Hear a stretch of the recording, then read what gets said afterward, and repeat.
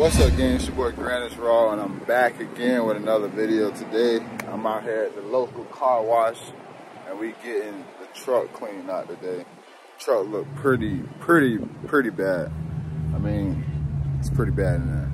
I'm different I want to bring to the channel. Um, you guys know if you do lawn care, just the, the hustle and bustle from night, from day in, day out, and just getting in from lunch and just grass, it collects a lot. So I'm finna give you guys the before and after of the inside of truck.